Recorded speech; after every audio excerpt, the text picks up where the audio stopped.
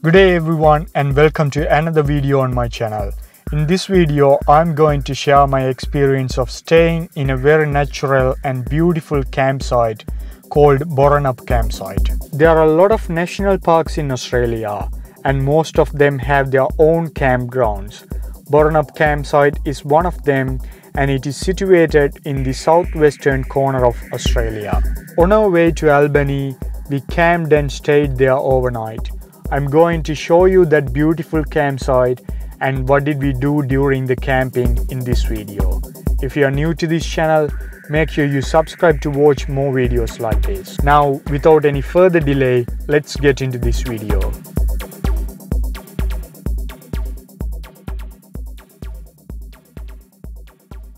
In the last video, you would have watched the Busselton Jetty, the longest jetty in the southern hemisphere and the two around the underwater observatory. After visiting there, we headed towards Albany, but on our way, our car was broken down. Anyway, we rented another car and resumed our journey.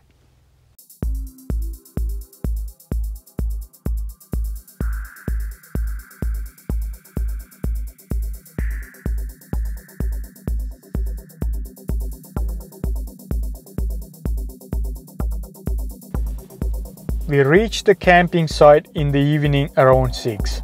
There were nearly 7 to 8 camping lots and we decided to camp in the camping lot number 1.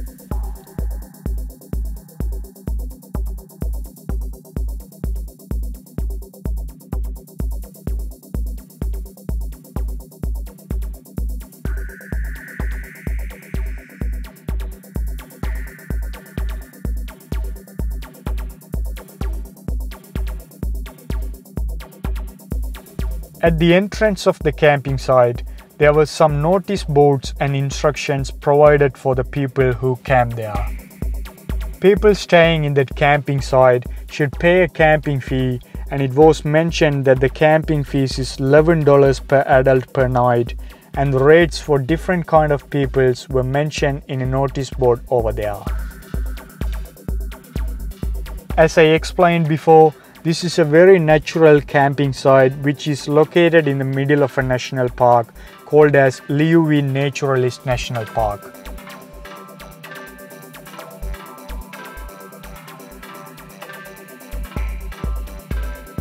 We paid upfront before we camped there and kept the receipt safe in case if any rangers come to inspect us.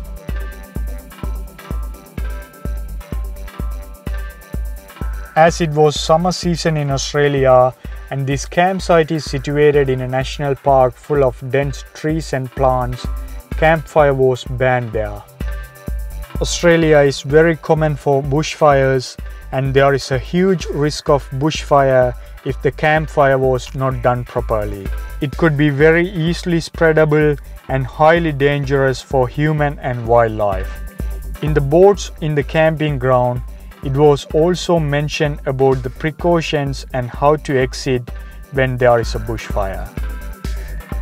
After parking our vehicle and paid our fees, I went for a walk around the campsite while other boys were setting up the camp.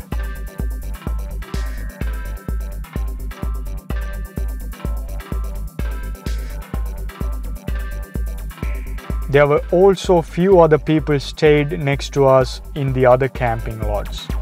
I would say the camping lots were very clean and beautiful.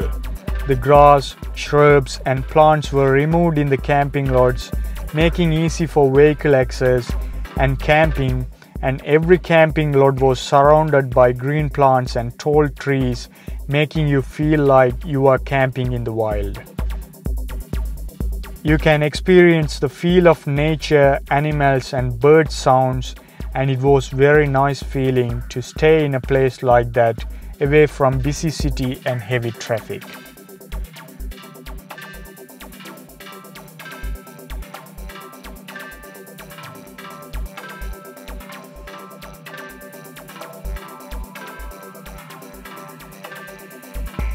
There was only one common toilet in that camping site. It was very clean and tidy. I would say that camping site is being maintained very well and should appreciate the effort of the people working for that. After the tour around the campsite, I came back to our camping lot and we finished setting up our tents.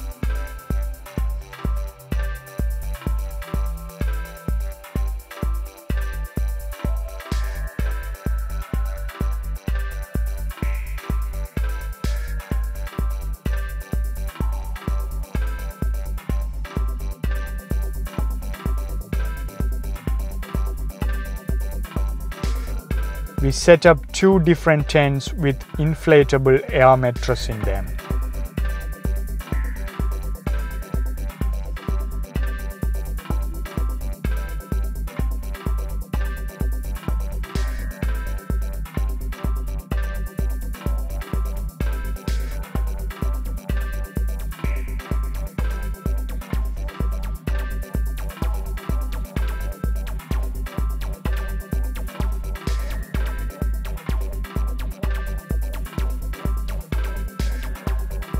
Once we finished setting up our camp, the next thing we focused was preparing our dinner for that night.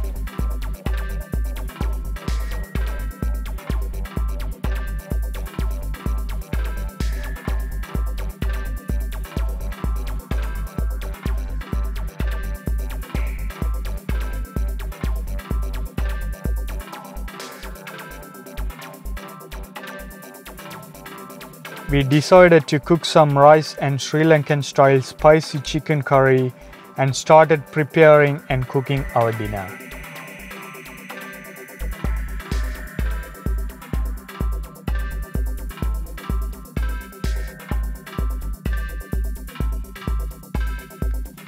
We were staying in the middle of nowhere and couldn't expect a perfect dinner. So we managed to cook something we knew and it did turn up well.